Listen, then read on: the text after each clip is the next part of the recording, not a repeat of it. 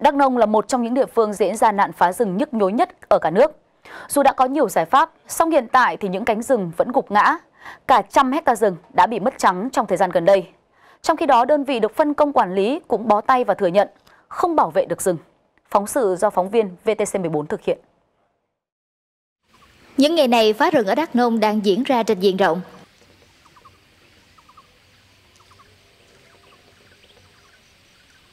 Rất dễ để tìm ra những khu vực rừng bị phá. Khu vực này thuộc xã Quảng Sơn, huyện Đắk Long. Những vạt rừng tan hoang chỉ trong thời gian ngắn.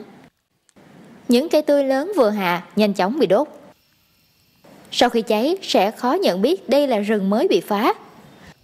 Riêng ở xã Quảng Sơn đã có khoảng 20 hecta rừng vừa bị mất trắng. Dù đã được giao cho Hợp tác xã Nông nghiệp Hợp Tiến quản lý, nhưng họ đã không thể giữ rừng.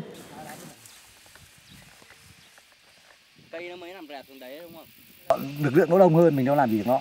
À, hiện nay như bây giờ nó còn đang tụ tập cứ khoảng chừng có lúc đến 50 người đến 40 người à, tổ chức các các cái hộ lấn chiếm với nhau đi với nhau bắt đầu là nó đến nó làm nó làm thì mình đến có mình bây giờ chỉ còn có khoảng chừng chục người Đấy, chục người vào thì nó đấu sẽ là bốn năm chục người mình đệ cho chính quyền địa phương từ, hay là các cái cơ quan chức năng từ sáng thì có khi đến chiều cũng mới vào hoặc là có khi có khi là chiều mưa thì cũng bỏ tay khi vào thì nó cũng xong hết rồi Việc của đơn vị quản lý rừng Quảng Sơn mấy tháng qua là thống kê diện tích rừng bị phá. Vô số vụ với những đối tượng cụ thể. Đại diện hợp tác xã cho biết họ đã không nhận được sự phối hợp kịp thời của các cơ quan chức năng tỉnh Đắk Nông trong việc bảo vệ rừng.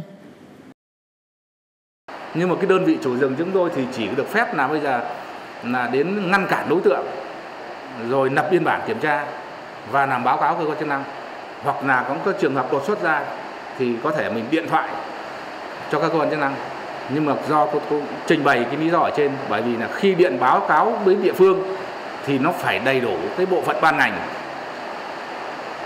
thì mới xử lý được. Mặc dù nó xảy ra rất nhiều, nhưng mà do cái địa hình, do cái con người, do cái thiếu thốn, nay được người này thì mai mất người khác, cho nên là không xử lý được các đối tượng hộ dân này. Để từ đó là người dân tạo tiền đề cho người ta là mạnh mẽ hơn, manh động hơn nhiều lĩnh hơn. Với cách quản lý như hiện tại, phá rừng ở đắk nông đang như thiếu kiểm soát. Đâu còn rừng, ở đó còn phá. Lõi rừng ngày càng rỗng rừng xanh thành củi khô.